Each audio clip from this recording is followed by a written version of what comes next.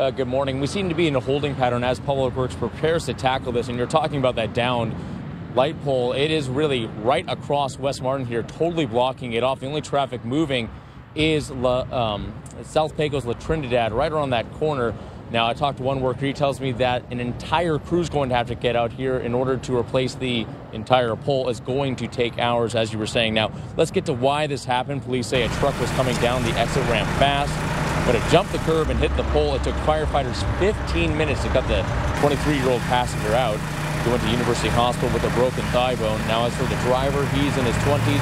He's facing DWI-related charges. Reporting live downtown, Josh Kernick, KSAT 12 News.